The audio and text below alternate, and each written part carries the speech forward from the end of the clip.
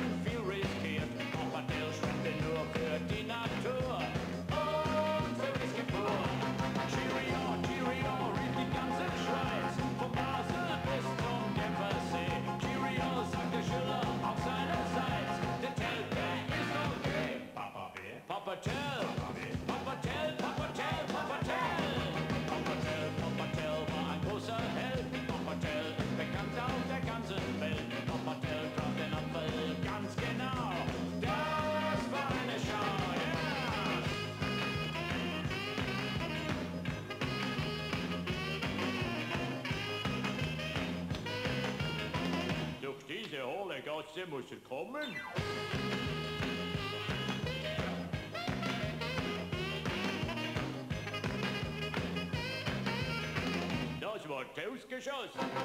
Cheerio, Cheerio, rief die ganze Schweiz. Vom Basel bis zum Genfersee. Cheerio, sagt der Schiller aus seiner Zeit. Der der ist okay. Papa wer? Papa Tell.